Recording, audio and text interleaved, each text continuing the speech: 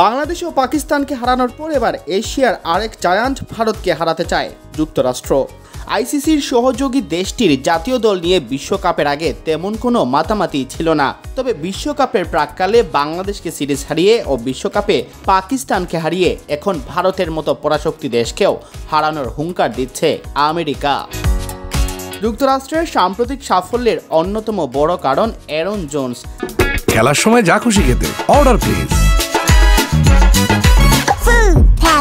দেশটির ক্রিকেটে তারকা হয়ে ওঠা এই ক্রিকেটারই জানালেন, ভারতকে মোটেও ভয় পাচ্ছেন না তারা। ভারতের মতো দলের বিপক্ষে খেলার সুযোগ পেয়ে রোমাঞ্চিত হলেও সাহস নিয়েই খেলতে নামার প্রত্যয় জোনসের।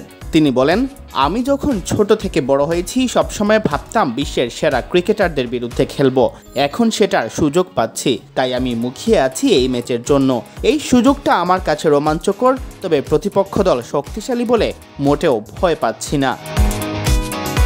যুক্তরাষ্ট্র জাতীয় দলে অবশ্য ভারতীয় ক্রিকেটারদের ছড়াছড়ি। পাকিস্তানকে হারানোর নায়ক সৌরভ নেত্রভালকার খেলেছেন ভারত যুব দলেও। শেষমেশ ভারত দলে জায়গা না পেয়ে অনেকেই বিশ্বকাপে আমেরিকার হয়ে খেলতে এসেছেন। ভারতীয় এই মাইগ্রেন্ট ক্রিকেটারদের অভিজ্ঞতা ভারতের বিপক্ষে ভালো খেলতে সহায়তা করবে যুক্তরাষ্ট্রকে।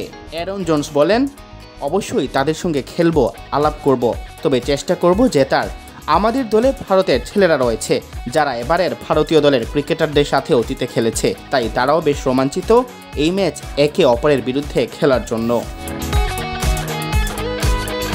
তবে প্রতিপক্ষ ভারত বলে যে আহ্লাদে আটখানা মার্কিনীরা তা নয়। জোন্স তা স্পষ্ট করেই জানালেন, কিংবা প্রতিপক্ষের নাম বা শক্তিমত্তা নিয়েও মাথা ঘামাতে নারাজ। অঘটনের পর অঘটনের জন্ম দিতে থাকা নতুন দলটি। জোন্স বলেন, না, একদমই না। আমার মনে হয় এটাকে স্বাভাবিক ম্যাচ হিসেবেই দেখব। আমরা জানি ভারত ভালো দল, কিন্তু আমরা আগেও ভালো দলকে হারিয়েছি। এটাকে সত্যি বলতে সাধারণ একটা ম্যাচ হিসেবেই দেখব। কোন নাম বা দলের বিপক্ষে খেলছি এমন নয়। আর কিছুক্ষণ পরই ভারতের বিপক্ষে নিউ ইয়র্কের নাসাউ কাউন্টি আন্তর্জাতিক ক্রিকেট স্টেডিয়ামে মাঠে নামবে যুক্তরাষ্ট্র। ম্যাচটি শুরু হবে বাংলাদেশ সময় রাত সাড়ে আটটায়। Siam Chowdhury, BD cric time.